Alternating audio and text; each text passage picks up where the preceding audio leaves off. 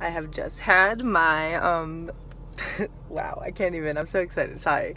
I have just had my pre-op for my top surgery today and whew, man, I love the surgeon. He's so awesome. I I can't say how I can't even describe how happy I am. Uh, I'm like shitting myself because it's next week also, but uh, really, it's just like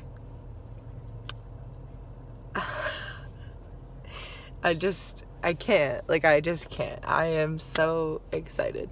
So yeah, we'll see how it goes, and then I'm gonna start uh, looking into taking a T after. So really beef up these pecs. Am I right?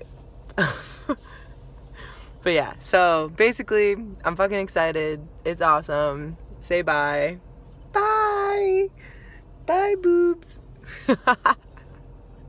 ah, sorry, that was kind of dark humor. Um, but yeah, basically, so I went to Dr. Paul Costas in Concord, Mass, and he's the shit. Please look him up on reviews. He got, he's just, he's wonderful. I'll let, and he's gonna follow me up and stuff for I think a year after like up to a year or so after to see his progress so yeah so it's gonna be great um hopefully I mean I guess it couldn't there's a chance there's always a chance shit could go wrong um surgery but anyway sorry I'm very all over the place right now I just got a lot you know just thoughts are racing so but it's gonna be good um Woo!